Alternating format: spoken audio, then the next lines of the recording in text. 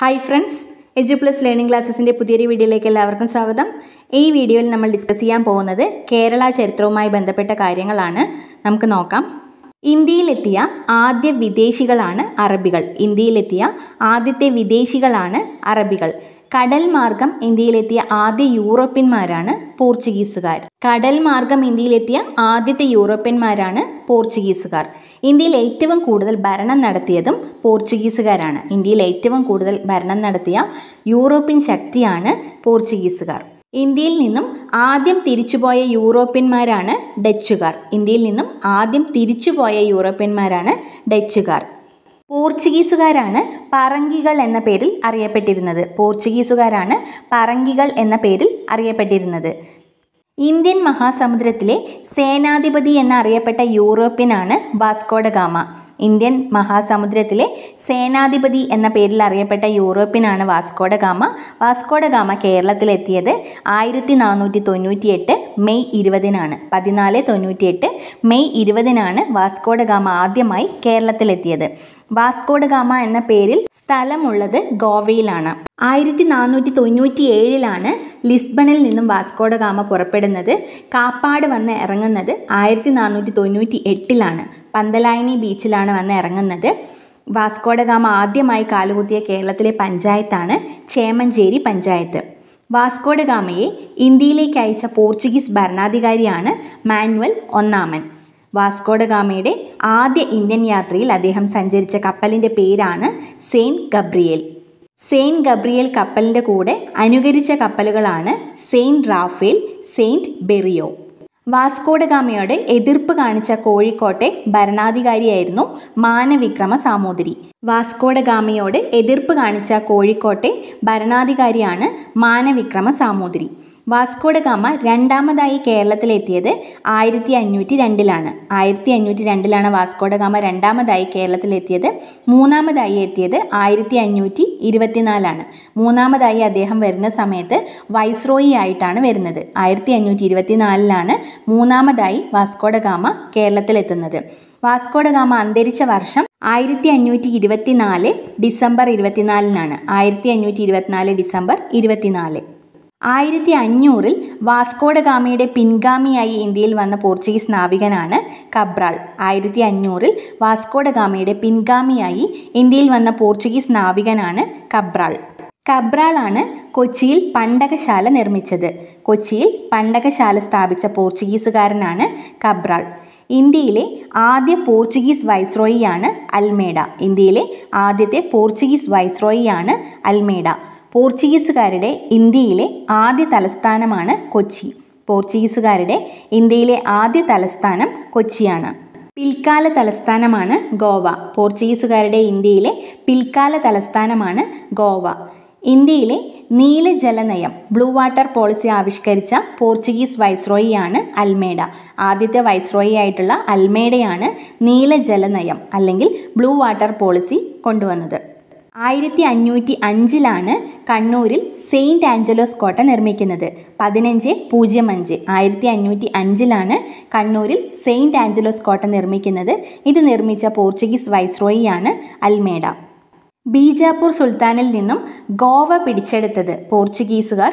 ബീജാപ്പൂർ സുൽത്താനിൽ നിന്നും ഗോവ പിടിച്ചെടുത്ത വർഷം ആയിരത്തി അഞ്ഞൂറ്റി പത്തിലാണ് ഇന്ത്യയിൽ മിശ്ര കോളനി സമ്പ്രദായം മിക്സഡ് കോളനി സിസ്റ്റം കൊണ്ടുവന്ന പോർച്ചുഗീസ് വൈസ്രോയിയാണ് അൽബുക്കർക്ക്.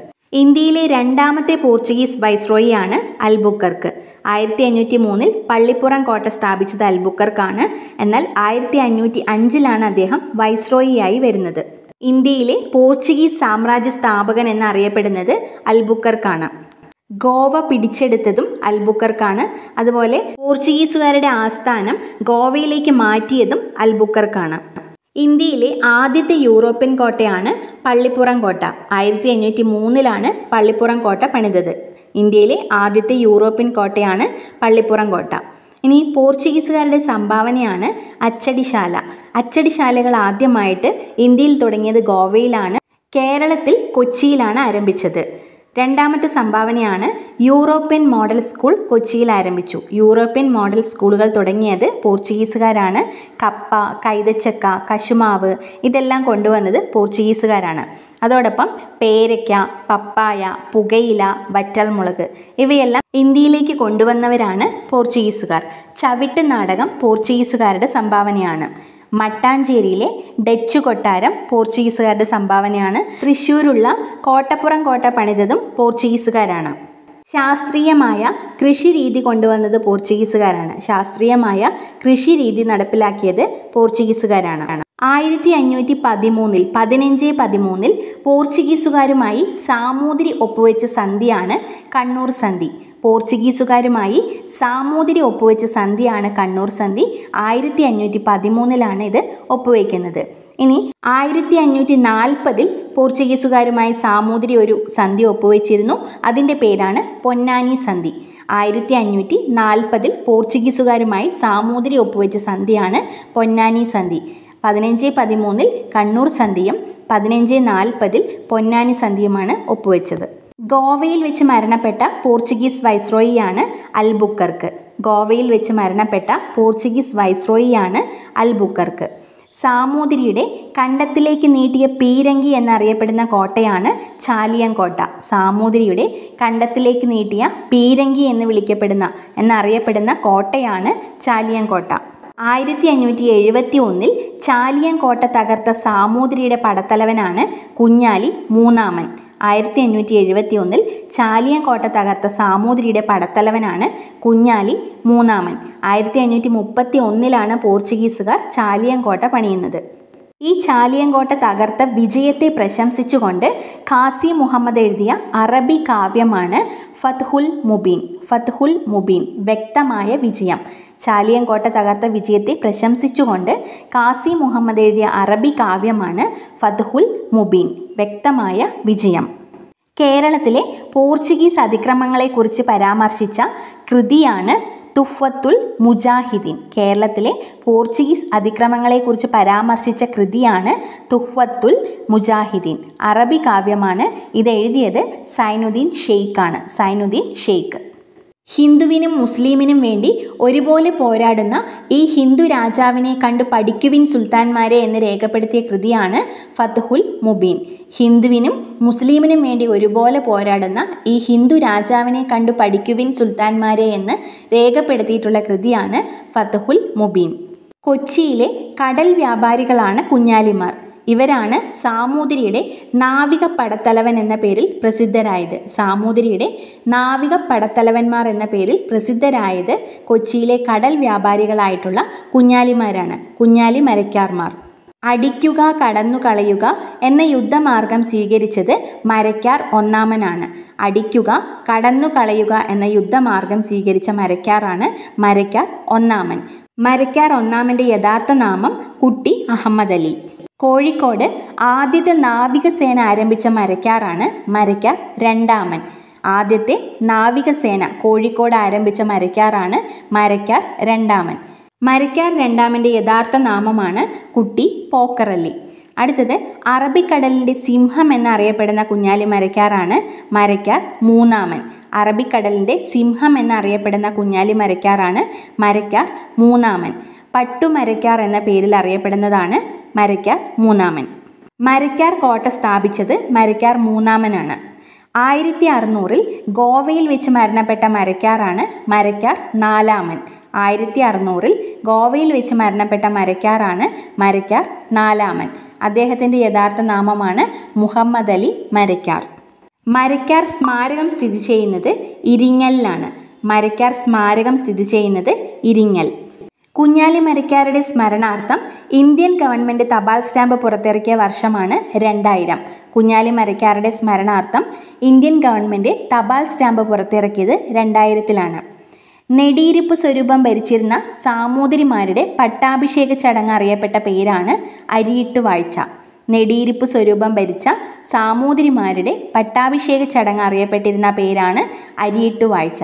തിരുവിതാംകൂറിലെ പട്ടാഭിഷേക ചടങ്ങ് അറിയപ്പെട്ടിരുന്നത് ഹിരണ്യഗർഭം എന്ന പേരിലാണ്. സാമൂതിരിമാരുടെ പണ്ഡിത സമ്മേളനം അറിയപ്പെട്ട പേരാണ് രേവതി പട്ടത്താനം. സാമൂതിരിമാരുടെ പണ്ഡിത സമ്മേളനം അറിയപ്പെട്ടത് രേവതി പട്ടത്താനം എന്ന പേരിലാണ്. ഇന്ത്യയിലെ പോർച്ചുഗീസ് ചരിത്രം രേഖപ്പെടുത്തിയിട്ടുള്ള ആദ്യത്തെ വ്യക്തി ജെയിംസ് കോറിയാണ്. ഇന്ത്യയിലെ പോർച്ചുഗീസ് ചരിത്രം രേഖപ്പെടുത്തിയ ആദ്യത്തെ വ്യക്തി ജെയിംസ് കോറിയ. ആദ്യ മാമാങ്കം നടന്നത് എ ഡി എണ്ണൂറ്റി ഇരുപത്തി ഒൻപതിലാണ് എ ഡി എണ്ണൂറ്റി ഇരുപത്തി ഒൻപതിലാണ് ആദ്യ മാമാങ്കം നടന്നത്. മാമാങ്കം നടത്തിയിരുന്നത് ഭാരതപ്പുഴയുടെ തീരത്താണ്. മാമാങ്കം നടത്തിയിരുന്നത് ഭാരതപ്പുഴയുടെ തീരത്താണ്. മാമാങ്കത്തിന്റെ രക്ഷാപുരുഷസ്ഥാനം സാമൂതിരിക്കാണ്.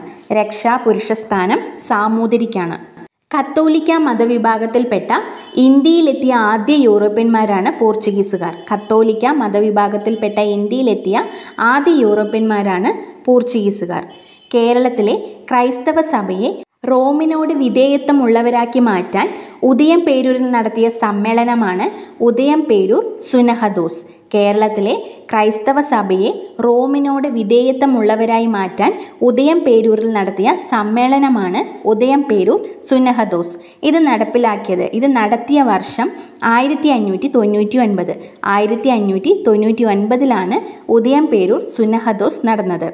കൂനൻ കുരിശ് സത്യം നടന്ന വർഷം ആയിരത്തി അറുന്നൂറ്റി അൻപത്തി മൂന്ന് കൂനൻ കുരിശ് സത്യം നടന്ന വർഷം ആയിരത്തി അറുന്നൂറ്റി അൻപത്തി മൂന്ന് കേരളത്തിൽ ഉപയോഗിച്ചു വരുന്ന പോർച്ചുഗീസ് ഭാഷയിലുള്ള പദങ്ങളാണ് കൊന്ത കുശിനി ഇസ്തിരി വസ്ത്രം വികാരി സെമിത്തേരി കുരിശ് അൽത്താര കുംഭസാരം മേശ ബെഞ്ചരിപ്പ് മേസ്തിരി തുവാല ചായ ബെഞ്ച് കസേര കപ്പിത്താൻ മുറം പതക്കം ലേലം തുടങ്ങിയ വാക്കുകൾ.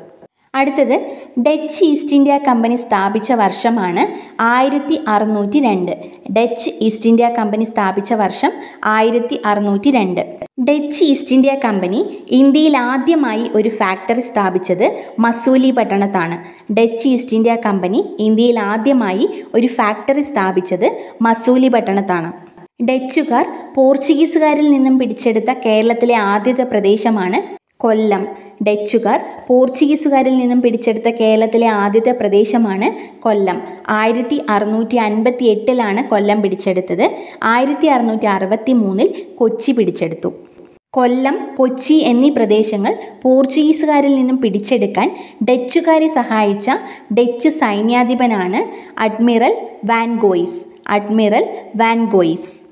കേരളത്തിൽ ഡച്ച് ആധിപത്യം അവസാനിപ്പിക്കാൻ കാരണമായ യുദ്ധമാണ് കുളച്ചൽ യുദ്ധം. കേരളത്തിൽ ഡച്ച് ആധിപത്യം അവസാനിപ്പിക്കാൻ കാരണമായ യുദ്ധമാണ് കുളച്ചൽ യുദ്ധം. ആയിരത്തി എഴുന്നൂറ്റി നാൽപ്പത്തി ഒന്ന് ഓഗസ്റ്റ് പത്തിനാണ് കുളച്ചൽ യുദ്ധം നടന്നത്. ആയിരത്തി എഴുന്നൂറ്റി നാൽപ്പത്തി ഒന്ന് ഓഗസ്റ്റ് പത്തിനാണ് കുളച്ചൽ യുദ്ധം നടന്നത്. ഒരു യൂറോപ്യൻ വിദേശ ശക്തിയെ പരാജയപ്പെടുത്തിയ ഏഷ്യയിലെ ആദ്യത്തെ രാജാവാണ് അനിഴം തിരുനാൾ മാർത്താണ്ഡവർമ്മ. ഒരു യൂറോപ്യൻ വിദേശ ശക്തിയെ പരാജയപ്പെടുത്തിയ ഏഷ്യയിലെ ആദ്യ രാജാവാണ് അനിഴം തിരുനാൾ മാർത്താണ്ഡവർമ്മ. ക്യാപ്റ്റൻ ഡിലനോയ് സ്മാരകം സ്ഥിതി ചെയ്യുന്നത് ഉദയഗിരി കോട്ടയിലാണ്. ക്യാപ്റ്റൻ ഡിലനോയ് സ്മാരകം സ്ഥിതി ചെയ്യുന്നത് കന്യാകുമാരിയിലെ ഉദയഗിരി കോട്ടയിലാണ്. ഡച്ച് ആധിപത്യം അവസാനിക്കാൻ കാരണമായ ഉടമ്പടിയാണ് മാവേലിക്കര സന്ധി. ഡച്ച് ആധിപത്യം അവസാനിപ്പിക്കാൻ കാരണമായ ഉടമ്പടിയാണ് മാവേലിക്കര സന്ധി. ആയിരത്തി എഴുന്നൂറ്റി അൻപത്തി മൂന്ന് ഓഗസ്റ്റ് പതിനഞ്ചിനാണ് ഈ സന്ധി ഒപ്പുവെച്ചത്. ആയിരത്തി എഴുന്നൂറ്റി അൻപത്തി മൂന്ന് ഓഗസ്റ്റ് പതിനഞ്ചിനാണ് മാവേലിക്കര സന്ധി ഒപ്പുവെക്കുന്നത്. ഏഷ്യയിലെ ഏറ്റവും വലിയ ഡച്ച് കോളനിയാണ് ഇന്തോനേഷ്യ. ഏഷ്യയിലെ ഏറ്റവും വലിയ ഡച്ച് കോളനിയാണ് ഇന്തോനേഷ്യ. ഡച്ചുകാരിയാണ് ലന്തക്കാർ എന്ന പേരിൽ അറിയപ്പെടുന്നത്. ലന്തക്കാർ എന്ന പേരിൽ അറിയപ്പെടുന്ന വിദേശ ശക്തികളാണ് ഡച്ചുകാർ. മലയാള ലിപി അച്ചടിച്ച ആദ്യത്തെ ഗ്രന്ഥമാണ് ഹോർത്തൂസ് മലബാറിക്കസ്. മലയാള ലിപി അച്ചടിച്ച ആദ്യത്തെ ഗ്രന്ഥമാണ് ഹോർത്തൂസ് മലബാറിക്കസ്. ഹോർത്തൂസ് മലബാറിക്കസിൽ പരാമർശിച്ച ആദ്യത്തെ വൃക്ഷമാണ് തെങ്ങ്. ഹോർത്തൂസ് മലബാറിക്കസിൽ പരാമർശിച്ചിട്ടുള്ള ആദ്യത്തെ വൃക്ഷമാണ് തെങ്ങ്. ഹോർത്തൂസ് മലബാറിക്കസിന്റെ രചനയിൽ നേതൃത്വം നൽകിയ വ്യക്തിയാണ് അഡ്മിറൽ വാൻഡ്രീഡ് അഡ്മിറൽ വാൻഡ്രീഡ് മലബാറിന്റെ പൂന്തോട്ടം കേരളാരാമം എന്നീ പേരുകളിൽ അറിയപ്പെടുന്ന ഗ്രന്ഥമാണ് ഹോർത്തൂസ് മലബാറിക്കസ്. മലബാറിന്റെ പൂന്തോട്ടം കേരളാരമം എന്നീ പേരുകളിൽ അറിയപ്പെടുന്നത് ഹോർത്തൂസ് മലബാറിക്കസ് ആണ്. ലാറ്റിൻ ഭാഷയിലാണ് ഇത് എഴുതിയിട്ടുള്ളത്. നെതർലാൻഡ്സിലെ ആംസ്റ്റർഡാമിൽ നിന്നാണ് ഇത് പ്രസിദ്ധീകരിച്ചത്. ഹോർത്തൂസ് മലബാറിക്കസുമായി ബന്ധപ്പെട്ട ഈഴവ വൈദ്യനാണ് ഇട്ടി അച്യുതൻ. നമ്മൾ നേരത്തെ പറഞ്ഞു കത്തോലിക്ക വിഭാഗത്തിൽപ്പെട്ടവരാണ് പോർച്ചുഗീസുകാർ. അതേപോലെ ഡച്ചുകാർ ഉൾപ്പെടുന്നത് പ്രൊട്ടസ്റ്റന്റ് മതവിഭാഗത്തിലാണ്. പ്രൊട്ടസ്റ്റന്റ് വിഭാഗത്തിൽപ്പെട്ടവരാണ് ഡച്ചുകാർ. ഡച്ച് സഹായത്തോടെ സാമൂതിരി നാടുവാഴികളെ അടിച്ചമർത്തിയ യുദ്ധമാണ് വെട്ടം യുദ്ധം. ഡച്ച് സഹായത്തോടെ സാമൂതിരി നാടുവാഴികളെ അടിച്ചമർത്തിയ യുദ്ധമാണ് വെട്ടം യുദ്ധം. ആയിരത്തി അറുന്നൂറ്റി തൊണ്ണൂറ്റി ഒന്നിലാണ് വെട്ടം യുദ്ധം നടന്നത്. മലപ്പുറം ജില്ലയിലാണ് വെട്ടം. ഡച്ചുകാരുടെ ഒരു സംഭാവനയാണ് കൊച്ചിയിൽ നിർമ്മിച്ചിട്ടുള്ള ബോൾഗാട്ടി പാലസ്. കൊച്ചിയിലെ ബോൾഗാട്ടി പാലസ് നിർമ്മിച്ചത് ഡച്ചുകാരാണ്. ഹോർത്തൂസ് മലബാറിക്കസ് എന്ന പുസ്തകം മലയാളത്തിലേക്ക് ട്രാൻസ്ലേഷൻ നടത്തിയത് മണിലാലാണ്. മലയാളത്തിലേക്കും ഇംഗ്ലീഷിലേക്കും വിവർത്തനം ചെയ്തത് കെ എസ് മണിലാലാണ്. ഹോർത്തൂസ് മലബാറിക്കസ് പ്രസിദ്ധീകരിച്ച കേരളത്തിലെ സർവകലാശാലയാണ് കേരള യൂണിവേഴ്സിറ്റി. തെങ്ങ് കൃഷിയും നെൽകൃഷിയും ഇന്ത്യയിൽ പ്രോത്സാഹിപ്പിച്ചത് ഡച്ചുകാരാണ്. തെങ്ങ് കൃഷിയും നെൽകൃഷിയും ഇന്ത്യയിൽ പ്രോത്സാഹിപ്പിച്ചത് ഡച്ചുകാരാണ്. ഹോർത്തൂസ് മലബാറിക്കസിന്റെ രചനയുമായി ബന്ധപ്പെട്ട ഗൗഡ ബ്രാഹ്മണരാണ് അപ്പുഭട്ട് രംഗഭട്ട് വിനായകഭട്ട്. ഹോർത്തൂസ് മലബാറക്കസിന്റെ രചനയുമായി ബന്ധപ്പെട്ട ഗൗഡ ബ്രാഹ്മണരാണ് അപ്പുഭട്ട് രംഗഭട്ട് വിനായകഭട്ട്. ഡച്ചുകാർ പോർച്ചുഗീസുകാരിൽ നിന്നും കൊച്ചി പിടിച്ചെടുത്ത വർഷം ആയിരത്തി അറുന്നൂറ്റി അറുപത്തി മൂന്നിലാണ് ഡച്ചുകാർ പോർച്ചുഗീസുകാരിൽ നിന്നും കൊച്ചി പിടിച്ചെടുത്ത വർഷം ആയിരത്തി അറുന്നൂറ്റി അറുപത്തി മൂന്ന് കുരുമുളകിന് പകരമായി ഡച്ചുകാർ തിരുവിതാംകൂറിന് യുദ്ധ സാമഗ്രികൾ നൽകണം എന്ന നിർദ്ദേശം മുന്നോട്ട് വെച്ച ഉടമ്പടിയാണ് മാവേലിക്കര സന്ധി. കുരുമുളകിന് പകരമായി ഡച്ചുകാർ തിരുവിതാംകൂറിന് യുദ്ധ സാമഗ്രികൾ നൽകണമെന്ന് പറഞ്ഞ ഉടമ്പടിയാണ് മാവേലിക്കര സന്ധി. ഉപ്പ് നിർമ്മാണം ഇന്ത്യയിൽ പ്രോത്സാഹിപ്പിച്ച യൂറോപ്യന്മാരാണ് ഡച്ചുകാർ. ഉപ്പ് നിർമ്മാണം ഇന്ത്യയിൽ പ്രോത്സാഹിപ്പിച്ച യൂറോപ്യന്മാരാണ് ഡച്ചുകാർ. ഇന്ത്യയിൽ വന്ന അവസാനത്തെ യൂറോപ്യന്മാരാണ് ഫ്രഞ്ചുകാർ. ഇന്ത്യയിൽ വന്ന അവസാനത്തെ യൂറോപ്യന്മാരാണ് ഫ്രഞ്ചുകാർ. പരന്ത്രീസുകാർ എന്ന പേരിൽ അറിയപ്പെടുന്നത് ഫ്രഞ്ചുകാരാണ്. പരന്ത്രീസുകാർ എന്ന പേരിൽ അറിയപ്പെടുന്നത് ഫ്രഞ്ചുകാരാണ്. ഇന്ത്യയിലെ ആദ്യത്തെ ഫ്രഞ്ച് ഗവർണർ ജനറലാണ് ഫ്രാങ്കോയിഡ് മാർട്ടിൻ. ഇന്ത്യയിലെ ആദ്യത്തെ ഫ്രഞ്ച് ഗവർണർ ജനറലാണ് ഫ്രാങ്കോയിഡ് മാർട്ടിൻ. ഇന്ത്യയിൽ ഫ്രഞ്ചുകാരുടെ ആസ്ഥാനം പോണ്ടിച്ചേരിയാണ്. ഇന്ത്യയിൽ ഫ്രഞ്ചുകാരുടെ ആസ്ഥാനം പോണ്ടിച്ചേരിയാണ്. കേരളത്തിലെ ആസ്ഥാനം Mahe. French East India Company സ്ഥാപിച്ചത് ആയിരത്തി അറുന്നൂറ്റി അറുപത്തി നാലിലാണ് പതിനാറ് അറുപത്തി നാലിലാണ് ഫ്രഞ്ച് ഈസ്റ്റ് ഇന്ത്യ കമ്പനി സ്ഥാപിച്ചത്. ഫ്രഞ്ച് ഈസ്റ്റ് ഇന്ത്യ കമ്പനി സ്ഥാപിതമാകുന്ന സമയത്ത് ഫ്രഞ്ചിലെ ഭരണാധികാരിയായിരുന്നു ലൂയി പതിനാലാമൻ. ഫ്രഞ്ചുകാരുടെ കീഴിലുണ്ടായിരുന്ന കേരളത്തിലെ പ്രദേശമാണ് മാഹി. ഫ്രഞ്ചുകാരുടെ സ്വാധീനം ഇന്ത്യയിൽ അവസാനിക്കാൻ കാരണമായ യുദ്ധമാണ് വാണ്ടി വാഷ് യുദ്ധം. ഫ്രഞ്ചുകാരുടെ സ്വാധീനം ഇന്ത്യയിൽ അവസാനിക്കാൻ കാരണമായ യുദ്ധമാണ് വാണ്ടിവാഷ് യുദ്ധം. ഈ വാണ്ടിവാഷ് യുദ്ധം നടന്നത് ആയിരത്തി എഴുന്നൂറ്റി അറുപതിലാണ്. ആയിരത്തി എഴുന്നൂറ്റി അറുപതിലാണ് വാണ്ടിവാഷ് യുദ്ധം നടന്നത്. വാണ്ടിവാഷ് യുദ്ധം നടന്ന ഇന്ത്യയിലെ സംസ്ഥാനം തമിഴ്നാടാണ്. തമിഴ്നാട്ടിലാണ് വാണ്ടിവാഷ് യുദ്ധം നടന്നത്. ഇതിൽ ഇംഗ്ലീഷ് സൈന്യത്തെ നയിച്ചത് സർ അയർക്കൂട്ടാണ്. സർ അയർക്കൂട്ടാണ് ഇംഗ്ലീഷ് സൈന്യത്തെ നയിച്ചത്. ഫ്രഞ്ച് സൈന്യത്തെ നയിച്ചത് Count de Lally. Count de Lally. ഫ്രഞ്ചുകാർ India വിട്ട വർഷമാണ് ആയിരത്തി തൊള്ളായിരത്തി അൻപത്തി നാല് ഫ്രഞ്ചുകാർ ഇന്ത്യ വിട്ട വർഷമാണ് ആയിരത്തി തൊള്ളായിരത്തി അൻപത്തി നാല് ഫ്രഞ്ച് കോളനികളാണ് പോണ്ടിച്ചേരി മാഹി യാനം ചന്ദ്രനഗർ കാരയ്ക്കൽ കേരളം. പോണ്ടിച്ചേരി മാഹി യാനം ചന്ദ്രനഗർ കാരയ്ക്കൽ കേരളം. അടുത്തത് കേരളത്തിലെത്തിയ ആദ്യ ഇംഗ്ലീഷുകാരനാണ് മാസ്റ്റർ റാൽഫിച്ച്. കേരളത്തിലെത്തിയ ആദ്യത്തെ ഇംഗ്ലീഷുകാരനാണ് മാസ്റ്റർ റാൽഫിച്ച് ഇദ്ദേഹമാണ് മാർഗദർശിയായ ഇംഗ്ലീഷുകാരൻ എന്നറിയപ്പെടുന്നത്. അതുപോലെ അക്ബറുടെ കാലത്താണ് മുഗൾ ഭരണകാലത്താണ് അദ്ദേഹം ഇന്ത്യയിലെത്തുന്നത്. ഒരു സഞ്ചാരിയായിട്ടാണ് അദ്ദേഹം ഇന്ത്യയിലെത്തിയത്. കേരളത്തിൽ കച്ചവടത്തിനായി വന്ന ആദ്യ ഇംഗ്ലീഷുകാരനാണ് ക്യാപ്റ്റൻ കീലിംഗ്. കേരളത്തിൽ കച്ചവടത്തിനായി വന്ന ആദ്യ ഇംഗ്ലീഷുകാരനാണ് ക്യാപ്റ്റൻ കീലിംഗ്. കോഴിക്കോടാണ് അദ്ദേഹം വന്നിറങ്ങിയത്. ആയിരത്തി അറുന്നൂറ്റി പതിനഞ്ചിലാണ് കോഴിക്കോട് എത്തിയത്. ഇംഗ്ലീഷ് ഈസ്റ്റ് ഇന്ത്യ കമ്പനി സ്ഥാപിച്ചത് ആയിരത്തി അറുന്നൂറ് ഡിസംബർ മുപ്പത്തൊന്നിനാണ്. ഇംഗ്ലീഷ് ഈസ്റ്റ് ഇന്ത്യ കമ്പനി സ്ഥാപിതമായ വർഷം ആയിരത്തി അറുന്നൂറ് ഡിസംബർ മുപ്പത്തിയൊന്ന്.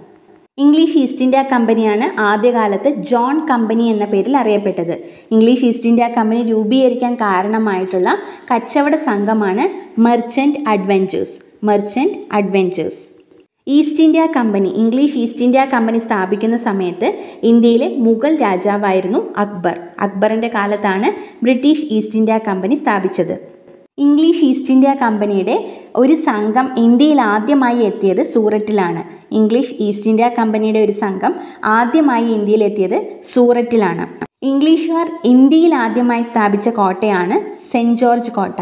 സെന്റ് ജോർജ് കോട്ടയാണ് ഇംഗ്ലീഷുകാരുടെ ഇന്ത്യയിലെ ആദ്യ കോട്ട. ഇംഗ്ലീഷ് ഈസ്റ്റ് ഇന്ത്യ കമ്പനിയിൽ നിന്നും ഇന്ത്യയുടെ ഭരണം ബ്രിട്ടീഷ് രാജ്ഞി ഏറ്റെടുത്ത വർഷമാണ് ആയിരത്തി എണ്ണൂറ്റി അൻപത്തി എട്ട് ആയിരത്തി എണ്ണൂറ്റി അൻപത്തി എട്ടിലാണ് ഈസ്റ്റ് ഇന്ത്യ കമ്പനിയിൽ നിന്നും ബ്രിട്ടൻ ഭരണം നേരിട്ട് ഏറ്റെടുക്കുന്നത്. ഇംഗ്ലീഷ് ഈസ്റ്റ് ഇന്ത്യ കമ്പനി ഇന്ത്യയിൽ ആരംഭിക്കാൻ അനുവാദം കൊടുത്ത മുഗൾ രാജാവാണ് ജഹാംഗീർ. അക്ബറിന്റെ കാലത്താണ് ഈസ്റ്റ് ഇന്ത്യ കമ്പനി സ്ഥാപിച്ചത്. പക്ഷേ അതിനുള്ള അധികാരം നൽകിയത് ജഹാംഗീറിന്റെ കാലത്താണ്. ജഹാംഗീറിന്റെ സദസ്സ് സന്ദർശിച്ച ബ്രിട്ടീഷുകാരാണ് വില്യം ഹോക്കിൻസും തോമസ് റോയും. വില്യം ഹോക്കിൻസ് ആണ് നമ്മൾ നേരത്തെ പറഞ്ഞ ഇംഗ്ലീഷ് ഈസ്റ്റ് ഇന്ത്യ കമ്പനിയുടെ ആദ്യത്തെ സംഘത്തെ നയിച്ചത്. കേരളത്തിൽ ആദ്യമായി ബ്രിട്ടീഷുകാർ പണ്ടകശാല സ്ഥാപിച്ചത് വിഴിഞ്ഞത്താണ്. കേരളത്തിൽ ബ്രിട്ടീഷുകാരുടെ ആദ്യ പണ്ടകശാല സ്ഥാപിച്ചത് വിഴിഞ്ഞത്താണ്. ബ്രിട്ടീഷുകാർക്കെതിരെ നടന്ന കേരളത്തിലെ ആദ്യത്തെ കലാപമാണ് അഞ്ചുതെങ്ങ് കലാപം. ബ്രിട്ടീഷുകാർക്കെതിരെ നടന്നിട്ടുള്ള കേരളത്തിലെ ആദ്യ കലാപമാണ് അഞ്ചുതെങ്ങ് കലാപം. അഞ്ചുതെങ്ങിൽ ഒരു കോട്ട പണിയുവാനുള്ള അധികാരം ആറ്റിങ്ങൽ റാണി ബ്രിട്ടീഷുകാർക്ക് നൽകിയത് ആയിരത്തി അറുന്നൂറ്റി തൊണ്ണൂറിലാണ് അഞ്ചുതെങ്ങിൽ ഒരു കോട്ട പണിയുവാനുള്ള അധികാരം ആറ്റിങ്ങൽ റാണിയായിട്ടുള്ള ഉമയമ്മ റാണി ബ്രിട്ടീഷുകാർക്ക് നൽകിയത് ആയിരത്തി അറുന്നൂറ്റി തൊണ്ണൂറിലാണ് അഞ്ചുതെങ്ങ് കോട്ടയുടെ പണി പൂർത്തിയാക്കിയ വർഷം ആയിരത്തി അറുന്നൂറ്റി തൊണ്ണൂറ്റി അഞ്ച് അഞ്ചുതെങ്ങ് കോട്ടയുടെ പണി പൂർത്തിയാക്കിയ വർഷം ആയിരത്തി അറുന്നൂറ്റി തൊണ്ണൂറ്റി അഞ്ച് അതേപോലെ അഞ്ചുതെങ്ങ് കലാപം നടന്ന വർഷം ആയിരത്തി അറുന്നൂറ്റി തൊണ്ണൂറ്റി ഏഴിലാണ് അഞ്ചുതെങ്ങ് കലാപം നടന്നത് ആയിരത്തി അറുന്നൂറ്റി തൊണ്ണൂറ്റി ഏഴ് ഈ കലാപത്തിൽ ഈ കോട്ട തകർക്കുകയാണ് ചെയ്തത്. കുരുമുളകിന്റെ വില ബ്രിട്ടീഷുകാർ നിശ്ചയിച്ചതിനെ തുടർന്നുണ്ടായ കേരളത്തിലെ ആദ്യത്തെ കലാപമാണ് അഞ്ചുതെങ്ങ് കലാപം. കുരുമുളകിന്റെ വില ബ്രിട്ടീഷുകാർ നിശ്ചയിച്ചതിനെ തുടർന്നുണ്ടായ കലാപമാണ് അഞ്ചുതെങ്ങ് കലാപം. ബ്രിട്ടീഷുകാർക്കെതിരെ നടന്ന കേരളത്തിലെ ആദ്യത്തെ സംഘടിത കലാപമാണ് ആറ്റിങ്ങൽ കലാപം. ബ്രിട്ടീഷുകാർക്കെതിരെ നടന്ന കേരളത്തിലെ ആദ്യത്തെ സംഘടിത കലാപമാണ് ആറ്റിങ്ങൽ കലാപം. ആറ്റിങ്ങൽ കലാപം നടന്ന വർഷം ആയിരത്തി എഴുന്നൂറ്റി ഇരുപത്തി ഒന്ന് ഏപ്രിൽ പതിനഞ്ച്. പതിനേഴ് ഇരുപത്തി ഒന്ന് ഏപ്രിൽ പതിനഞ്ച്. ആറ്റിങ്ങൽ കലാപ സമയത്തെ വേണാടിലെ ഭരണാധികാരിയാണ് ആദിത്യവർമ്മ. ആറ്റിങ്ങൽ കലാപ സമയത്തെ വേണാടിലെ ഭരണാധികാരിയായിരുന്നു ആദിത്യവർമ്മ. ആറ്റിങ്ങൽ കലാപ സമയത്ത് വധിക്കപ്പെട്ട ബ്രിട്ടീഷ് ഓഫീസറാണ് ഗിഫോർഡ്. വധിക്കപ്പെട്ട ബ്രിട്ടീഷ് ഓഫീസറാണ് ഗിഫോർഡ്. ആറ്റിങ്ങൽ കലാപത്തിനെ തുടർന്ന് ഉണ്ടായ സന്ധിയാണ് വേണാട് സന്ധി. ഈ കലാപത്തെ തുടർന്നുണ്ടായ സന്ധിയാണ് വേണാട് സന്ധി. ആയിരത്തി എഴുന്നൂറ്റി ഇരുപത്തി മൂന്നിലാണ് വേണാട് സന്ധി ഒപ്പുവെച്ചത്. ഇരുപത്തിയൊന്നിൽ കലാപവും ഇരുപത്തി മൂന്നിൽ വേണാട് സന്ധിയും. ആറ്റിങ്ങൽ കലാപകാരികളെ അടിച്ചമർത്താനായി തലശ്ശേരിയിൽ നിന്നുള്ള പോലീസ് സേനയാണ് എത്തിയത്. ആറ്റിങ്ങൽ കലാപകാരികളെ അടിച്ചമർത്താൻ എത്തിയ പോലീസ് സേനയാണ് തലശ്ശേരിയിൽ നിന്നുള്ള പോലീസ് സേന. ഇംഗ്ലീഷ് ഈസ്റ്റ് ഇന്ത്യ കമ്പനിക്ക് വേണാടിലുണ്ടായിരുന്ന ഏറ്റവും പ്രധാനപ്പെട്ട പണ്ടകശാലയാണ് അഞ്ചുതെങ്ങ്. ഇംഗ്ലീഷ് ഈസ്റ്റ് ഇന്ത്യ കമ്പനിക്ക് വേണാടിലുണ്ടായിരുന്ന ഏറ്റവും പ്രധാനപ്പെട്ട പണ്ടകശാലയാണ് അഞ്ചുതെങ്ങ്. ഒരു ഇന്ത്യൻ നാട്ടുരാജ്യവുമായി ബ്രിട്ടീഷുകാർ ഒപ്പിട്ട ആദ്യത്തെ സന്ധിയാണ് വേണാട് സന്ധി. ഒരു ഇന്ത്യൻ നാട്ടുരാജ്യവുമായി ബ്രിട്ടീഷുകാർ ഒപ്പിട്ട ആദ്യത്തെ സന്ധിയാണ് വേണാട് സന്ധി. ഈ വേണാട് സന്ധിയിൽ ഒപ്പുവെച്ച ബ്രിട്ടീഷുകാരനാണ് അലക്സാണ്ടർ ഓം. അലക്സാണ്ടർ ഓമും അനിഴൻ തിരുനാൾ മാർത്താണ്ഡവർമ്മയുമാണ് വേണാട് സന്ധിയിൽ ഒപ്പുവെച്ചത്. വേണാട്ടിലെ അവസാനത്തെ ഭരണാധികാരിയാണ് രാമവർമ്മ. വേണാട്ടിലെ അവസാനത്തെ ഭരണാധികാരിയാണ് രാമവർമ്മ. മലബാറിൽ മൈസൂർ സുൽത്താൻമാരുടെ ആക്രമണം നടക്കുമ്പോൾ തിരുവിതാംകൂറിലെ ഭരണാധികാരിയായിരുന്നത് കാർത്തിക തിരുനാൾ ധർമ്മരാജയാണ്. മലബാറിൽ മൈസൂർ സുൽത്താൻമാരുടെ ആക്രമണം നടക്കുമ്പോൾ തിരുവിതാംകൂറിലെ ഭരണാധികാരിയായിരുന്നത് കാർത്തിക തിരുനാൾ ധർമ്മരാജ. ടിപ്പു സുൽത്താന്റെ പടയോട്ടം തടയാനായി തിരുവിതാംകൂറിൽ നെടുങ്കോട്ട നിർമ്മിച്ചത് കാർത്തിക തിരുനാൾ ധർമ്മരാജയാണ്. ടിപ്പു സുൽത്താന്റെ പടയോട്ടം തടയാനായി തിരുവിതാംകൂറിൽ നെടുങ്കോട്ട നിർമ്മിച്ചത് കാർത്തിക തിരുനാൾ ധർമ്മരാജ. മലബാർ ബ്രിട്ടീഷ് ആധിപത്യത്തിന് കീഴിലാവാൻ കാരണമായ സന്ധിയാണ് ശ്രീരംഗപട്ടണം സന്ധി. മലബാർ ബ്രിട്ടീഷ് ആധിപത്യത്തിന് കീഴിലാകാൻ കാരണമായ സന്ധിയാണ് ശ്രീരംഗപട്ടണം സന്ധി. ശ്രീരംഗപട്ടണം സന്ധി ഒപ്പുവെച്ചത് ആയിരത്തി എഴുന്നൂറ്റി തൊണ്ണൂറ്റി രണ്ട് ആയിരത്തി എഴുന്നൂറ്റി തൊണ്ണൂറ്റി രണ്ടിലാണ് ശ്രീരംഗപട്ടണം സന്ധി ഒപ്പുവെച്ചത്. ആയിരത്തി എഴുന്നൂറ്റി തൊണ്ണൂറ്റി മൂന്നിൽ മലബാറിനെ രണ്ട് ഭരണ തലസ്ഥാനമാക്കി വേർതിരിച്ചിരുന്നു. അവിടുത്തെ ആസ്ഥാനങ്ങളായിരുന്നു തലശ്ശേരിയും ചെർപ്പളശ്ശേരിയും. ആയിരത്തി എഴുന്നൂറ്റി തൊണ്ണൂറ്റി മൂന്നിൽ മലബാറിനെ രണ്ട് ഭരണ തലസ്ഥാനമാക്കി വേർതിരിച്ച സമയത്തെ ആസ്ഥാനങ്ങളാണ് തലശ്ശേരി ചെർപ്പളശ്ശേരി. ഇതിന്റെ ബാക്കിയുള്ള ഭാഗം നമുക്ക് അടുത്ത ക്ലാസ്സിൽ ഡിസ്കസ് ചെയ്യാം. ഈ വീഡിയോ നിങ്ങൾക്ക് ഉപകാരപ്രദമാവുന്നുണ്ടെങ്കിൽ മറ്റുള്ളവർക്കൂടെ ഒന്ന് ഷെയർ ചെയ്ത് കൊടുക്കാം. നിങ്ങളുടെ അഭിപ്രായങ്ങളെല്ലാം കമന്റുകളായി അറിയിക്കുക. മറ്റൊരു വീഡിയോയുമായി നമുക്ക് കാണാം. താങ്ക്